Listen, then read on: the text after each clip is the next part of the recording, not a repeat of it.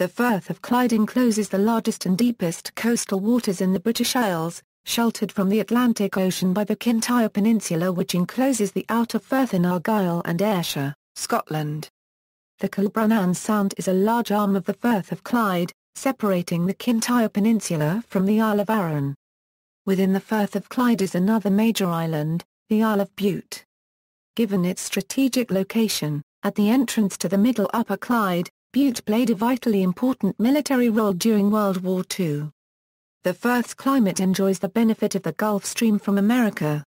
At its entrance the Firth is some 26 miles wide.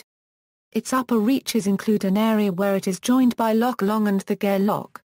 This includes the large anchorage off Greenock known as the Tail of the Bank in reference to the sandbar which separates the Firth from the estuary of the River Clyde. The Clyde is still almost two miles wide at the sandbar and its upper tidal limit is at the tidal weir adjacent to Glasgow Green. The cultural and geographical distinction between the Firth and the River Clyde is vague, and people will sometimes refer to Dumbarton as being on the Firth of Clyde, while the population of Port Glasgow and Greenock frequently refer to the Firth to their north as the river. In Scottish Gaelic the landward end is called Lynchlade, while the area around the south of Arran, Kintyre and Ayrshire Galloway is in Lyn Ghlas, E unregistered trademark EA squared E unregistered trademark E pound Geography The Firth encompasses many islands and peninsulas and has 12 ferry routes connecting them to the mainland and each other.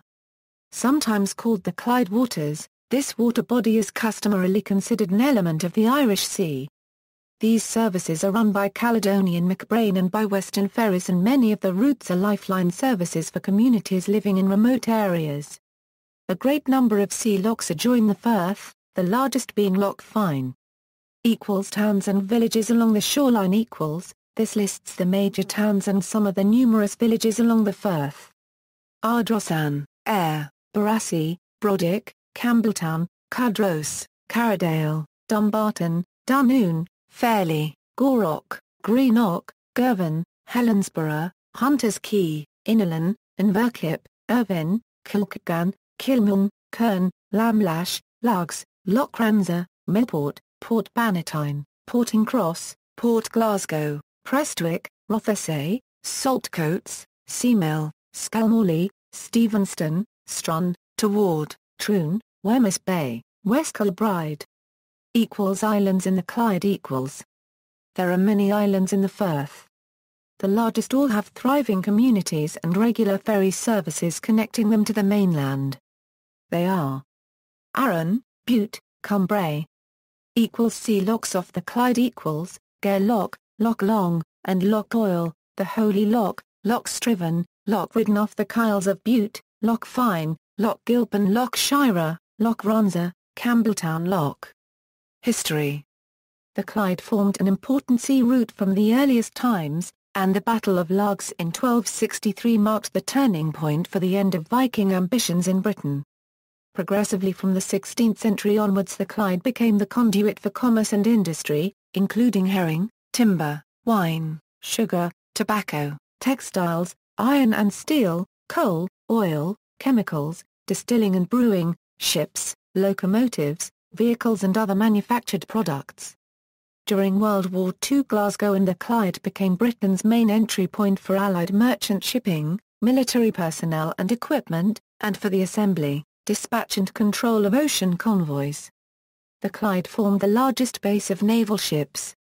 Among many wartime innovations to support air, maritime and territorial combat the world's first deep-water test of a submarine oil pipeline was conducted in 1942 on a pipeline laid across the Firth of Clyde in Operation Pluto. In the middle of the 19th century the sport of yachting became popular on the Clyde.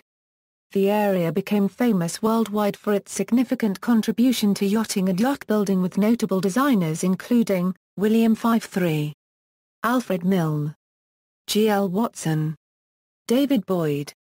It was also the location of many famous yacht yards. Clyde-built wooden yachts are still known for quality and style today. With the advent of tourism in Victorian times, the area became popular with Glaswegians and residents of neighbouring towns and counties who travelled doon the Watt on Clyde steamers to holiday in the picturesque seaside towns and villages that line the Firth, with the more wealthy building substantial holiday homes along its coasts.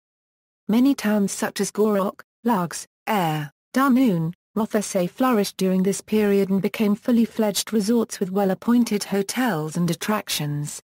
Golf courses increased in large number, including major championship courses.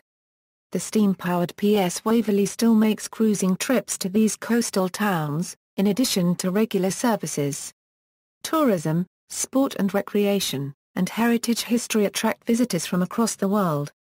The Firth is ringed by many castles and buildings of historical importance which are open to the public, including Inveraray Castle, Brodick Castle, the opulent Mount Stuart House on the Isle of Bute, and Culzean Castle, which is the most visited attraction owned by National Trust for Scotland. Ocean liners are frequent callers at Greenock, and Glasgow International Airport and Glasgow Prestwick Airport are nearby. Rail services to and from the coast, including links to Oban and Fort William, are frequent, with city terminals in Glasgow and Edinburgh. Daily ferry services connect with Belfast. The Lower Clyde shipyards of Greenock and Port Glasgow, most notably Scott Lithgow, played an important role in shipbuilding, with the Comet being the first successful steamboat in Europe, and a large proportion of the world's shipping being built there until well into the 20th century. In more recent times the natural beauty of the Firth has been compromised in places by a succession of industrial and military developments along the shoreline, including Hunterston and Hunterston Deepwater Terminal, while at the same time shipbuilding has declined.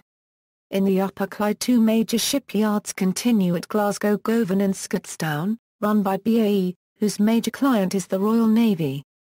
Today only one Lower Clyde shipyard exists, Ferguson Shipbuilders, Next to Newark Castle, Port Glasgow, the Garvel Dry Dock in Greenock continues in operation for ship repair, and the large Inch Green Dry Dock in Greenock is in occasional use. The sites of former shipyards are being regenerated by housing, leisure facilities and commercial premises. Marine wildlife, common and grey seals abound in the Firth. Harbour porpoises are also common and wild dolphins are much less so. They have been spotted in the upper reaches of the Firth in the summer of 2005. Whales do not favour the Clyde and although there have been instances of larger whales beaching themselves or becoming stranded in the upper Firth, only smaller pilot or minke whales seem to visit with any kind of regularity. In 2005 the Firth was listed as having the second highest incidence of basking shark sightings in Scotland. In particular these huge sharks seem to favour the warm, shallow waters surrounding Pladda. Although at one time heavily fished from the Firth's many fishing towns, the only catches remaining in Clyde waters today of commercial interest are prawns, lobster and herring. Mussels and crayfish remain important. There is a marine biological station run by the Universities of Glasgow and London on Great Cumbrae. In September 2008, Scotland's first no-take zone was introduced in Lamlash Bay, Isle of Arran. This was instigated by a community effort driven by the Community of Arran Seabed Trust. The NTZ was specifically introduced to protect delicate communities such as maerl. Maerl is a very slow-growing coral-like calcareous red algae and is an important Scottish species. Maerl beds are reservoirs of biodiversity, important both as nursery grounds for young scallops and young fish. Studies show that organic waste from fish farms significantly reduces live maerl and that scallop dredging has profound and long-lasting impacts. Scallop dredging on a maerl bed has been found to kill over 70% of live maerl, with no discernible recovery over the following four years. Recovery of maerl beds would be expected to require many years without disturbance. Shipping in the Firth the Firth of Clyde like the River Clyde has historically been an important centre of shipbuilding and shipping. In addition to the shipbuilding and engineering centres upriver of Glasgow, Govan, Clydebank, Dumbarton and Renfrew the lower river developed major yards at Greenock, Port Glasgow and smaller ones at Irvine, Ardrossan, Troon and Campbeltown and boat yards including Hunters Quay, Port Bannatyne and Fairlie. Ferguson Shipbuilders Yard, adjacent to Newark Castle, Port Glasgow, remains.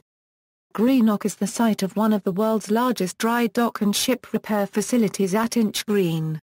The dry dock there is 305 metres long and 44 metres wide and is operated by Northwestern Ship Repairers Limited using the name Scott Lithgow, although unrelated to the famous Port Glasgow Scott Lithgow Shipbuilding Company. The Firth of Clyde has one of the deepest sea entrance channels in northern Europe, which can accommodate the largest cape-size vessels afloat, and as such the Clyde is one of the UK's leading ports, handling some 7.5 million tons of cargo each year. Hunterston Terminal was constructed to bring in bulk ore, but now mainly deals with coal imports. Supertankers up to 324,000 tons travel up the Firth to deliver crude oil to Finnart Oil Terminal in Loch Long, which is connected by pipeline to the Grangemouth refinery on the Firth of Forth. A second pipeline brings back refined oil products for export in smaller oil tankers mainly to Northern Ireland. Greenock's Ocean Terminal facility handles cargo from smaller container ships. More recently, regular cruise liner traffic has built up, making the port very busy in season. Clydeport, North Ayrshire Council and Scottish Enterprise propose a £200 million international deep-water container terminal, also at Hunterston, which would effectively act as a worldwide gateway port, and possibly become the major container port for the northern half of Europe. Initial environmental and economic impact studies are currently being undertaken.